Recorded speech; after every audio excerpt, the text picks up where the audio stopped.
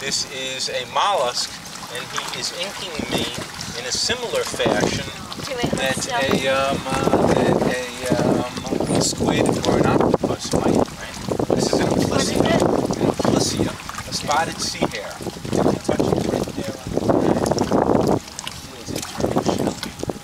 And he's got a little bit of a shell left.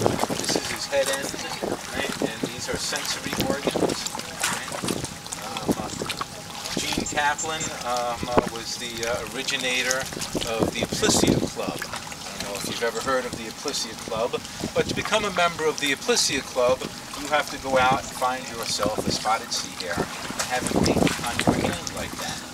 And then you cover the ink all over your hand, and you take your hand and go like that on your shirt. You make a big stain, and it's a permanent ink. And then you're a member of the Aplysia Club. So is your head, your hand stained now?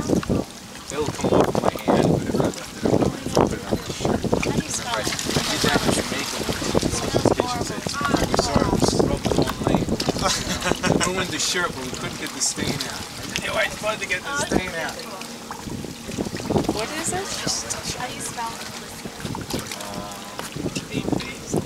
It's a stain on the hand. Just, uh, it's.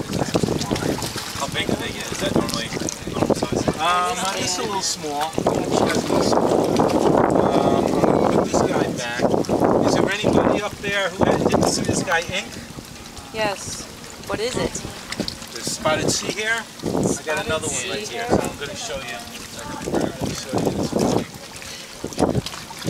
Wow, look at that. Whoa! Man, that guy really see, You can see something interesting about it too. You see the way it's kind of different, viscous, and it hangs together. Now that guy really has it.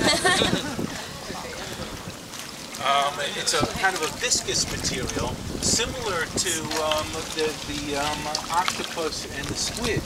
And when they, when they